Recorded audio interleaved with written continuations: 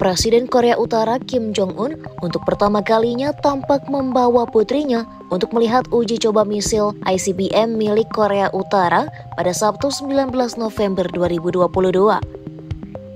NK News menyebut, hal itu seakan mengisyaratkan bahwa putrinya itu akan menjadi penerus Kim Jong-un.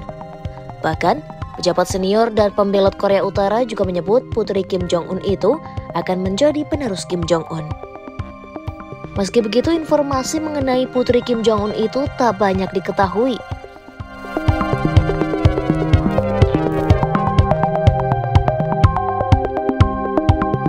Namun, meski disebut akan menjadi penerus orang nomor satu di Korea Utara, ada pandangan skeptis dari para pengamat soal Kim Jong-un yang ingin menyerahkan kekuasaan ke putrinya tersebut. Penampilan Putri Kim ini disebut sebagai propaganda untuk memanusiakan sosok pemimpin Korea Utara tersebut.